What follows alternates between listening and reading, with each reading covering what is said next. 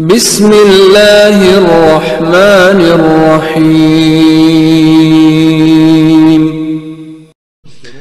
बनु उमैया, जनाब अब्द मनाफ के दो बेटे, एक का नाम अम्र है, दूसरे का नाम अब्दुलशम्स है। ये अम्र जिन्होंने कातसाली के ज़माने में चार महीने मुसलसल दस ऊँट दिन में ज़िबा करते थे, दस ऊँट शाम में ज़िबा करते थे। फिर इन ऊँटों को ज़िबा करके इनका शोरबा बनाते थे, फिर रोटियाँ इसमें भुगो कर तमाम लोगों को खिलाते थे। मुसलसल शब रोज़ दिन, रात। वो लोग जो फाकों की वजह से मर रहे थे, उनके लिए जनाब अम्र के दरवाजे खुल गए, आ रहे हैं यहाँ तक कि चार महीने के बाद। जब कात खत्म हुआ तो अब जनाब अम्र, जिनको मुसलसल चार महीने जो बराबर लोगों की खिदमत करते रहे अरबी ज़ुबान में जो शख्स सालन को रोटी में मिला के खिलाए, इसे हाशिम कहा जाता है। चार महीने मुसलसल अहल हिजाज की, अहल अरब की जो खिदमत की, फाके के ज़माने में उनकी मदद की, आपका लकब हाशिम पड़ गया। हाशिम नाम अम्र है, ये अब्द मनाफ के फर्जंद हैं। अब्द मनाफ का दूसरा बेटा अब्दुलशम्स है। ये अब्दुलशम्स जब शाम में गया तो अब्दुलशम्स ने एक गुलाम खरीदा, जिसका नाम उमैया। इसे बलाजरी ने अंसाबुल अशराफ में लिखा। जारुल्ला जमक्षरी ने जिनकी विलादत, जिनकी वफात पाँच सौ अड़तीस हिजरी में हुई, साहिब तफसर कशाफ उन्होंने अपनी किताब रबी अवरार की दूसरी जिल्द में तहरीर किया कि जनाब अब्दुलशम्स ने एक ग़ुलाम ख़रीदा। जिसका नाम उमैया था और ग़ुलाम ख़रीदने के बाद इसको अपनी खिदमत के लिए मखसूस किया। बाजारी आपकी खिदमत करता था, लेकिन इसमें कुछ ऐसी खराबियाँ थी नक्स थे कि ये दूसरों के हरम में तजावज़ करता था, शादीशुदा ख़वातीन के साथ गुनाह करता था। और शाम में अपनी सिफत में ये मशहूर और मरूफ था। यहाँ तक कि फिर जब अब्दुलशम्स इसे अपने हमरा हिजाज लेके आ गए, मक्का में लेके आ गए तो वहाँ पर भी इसकी सरगर्मियाँ इसी तरह से जारी रहीं।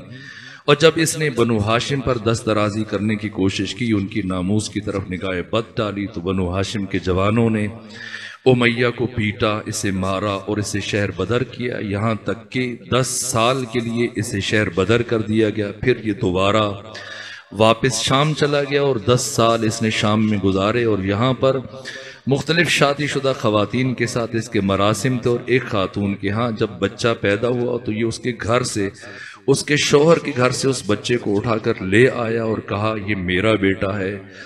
और फिर उसे पाला और उसका नाम जकवान रखा, जिसकी कुनीत अबू अम्र है। ये जकवान इसका बेटा है अबू मुईद। अबू मुईद का बेटा है उकबा उकबा का बेटा है वलीद। ये वलीद बिन उकबा बिन अबी मुईद जिसे 36 हिजरी से पहले कोफा में गवर्नर रखा गया, ये वलीद के, जिसे कुरान मजीद ने फासिक कहा। अब आपसे ये मुतालबा किया जा रहा है कि वलीद बिन उकबा बिन अभी मोईद को भी रज़ी अल्लाह मान लें, इसी भी साहबी रसूल मान लें, और वो अफराद जिन्हें ख़त्मी मरतबत ने शहर बदर किया, ये वलीद बिन उकबा कर, ये जंग बदर के सत्तर असीरों में से उकबा, वो वाहिद असीर था कि जिससे मुतल ख़त्मी मरतबत ने फरमाया कि ये वाजिबुल कत्ल है और अगर ये खाने काबा के गिलाफ के साथ लिपट जाए, तब भी इसे हर हाल में कत्ल कर दिया जाए। तो जंग बदर के सत्तर असीरों में से उकबा, वो वाहिद फ़र्द था कि जिसे कत्ल कर दिया गया। इस उकबा का बेटा वलीद है। और ये वली जिसे कुरान ने सूर्य बार के हजरात की छः नंबर आयत में फासिक अब तफसीलात है, मैं बयान नहीं कर सकता। वो जिन्हें कुरान ने फासिक कहा है सूर्य सजदा में दूसरी मरतबा ऐसे फासिक कहा, यहाँ तक कि तमाम मुफसरीन का इन आयात पर इजमा है। सब के सबने लिखा है, साहिब तफसर कबीर फ़खरुद्दीन राज़ी, जिनकी वफ़ात छः सौ छः हिजरी में हुई।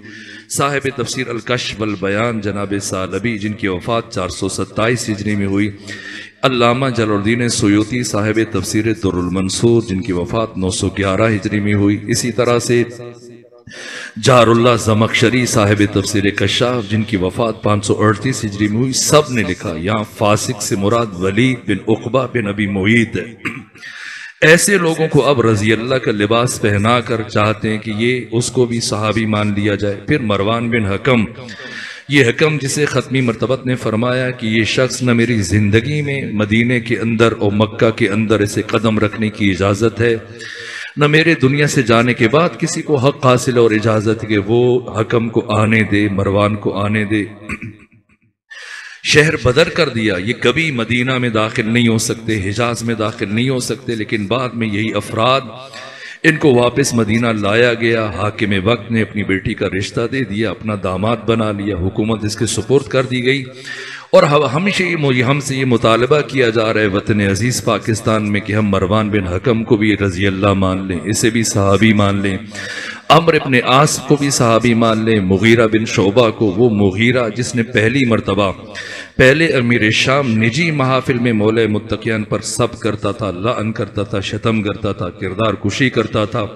पहला शख्स है तारीख़ इस्लाम में मुगीरा बिन शोबा, जिसके कहने पर जिसने पहली मरतबा कोफा में नौ साल गवर्नर रहा और इसने मौल मुतकियान पर सब लान शुरू किया जुमे के खुतबों में अलनी तौर पर। ऐसे लोगों को हम अगर खलीफा इसको मान लें, सहाबी मान लें रज़ी अल्लाह मान लें, मेरे अजीज़ों, जिस दिन वतन अज़ीज़ पाकिस्तान में आपने बनु उमैया पर कंप्रोमाइज़ कर लिया, इन्हें सही मान लिया, इन्हें सुहाब कराम की पाकिजा सफ में शामिल होने की इजाज़त दे दी ये वतन अज़ीज़ पाकिस्तान में आपकी इज्तमाही खुदकुशी का पहला दिन होगा। हम हर चीज़ पर कंप्रोमाइज़ कर सकते हैं, हर चीज़ पर तहमुल कर सकते हैं, हर बात बर्दाश्त कर सकते हैं, लेकिन कभी भी इस शजर खबीसा को इस्लाम के पाकिजा आँगन में बर्दाश्त करने के लिए, एक लम्हे के लिए तैयार नहीं है।